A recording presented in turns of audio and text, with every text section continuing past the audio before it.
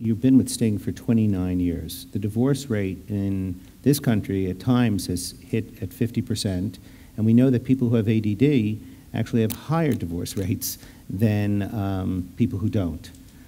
How, how do you work at it? How do you make sure that the relationship actually stays strong? And what are the challenges of having ADD in the relationship? Ooh, um, well, um, you know, he's, a, he's on tour a lot.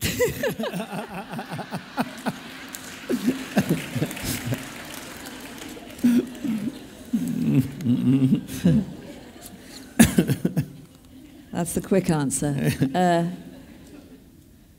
I think that um, a long-term relationship, you know, stands or falls by um, obviously how well you get along. So how do you define how well you get along with someone?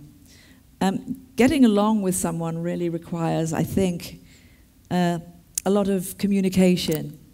And uh, I'm a big communicator. Uh, I, I like to talk. I talk about uh, my feelings.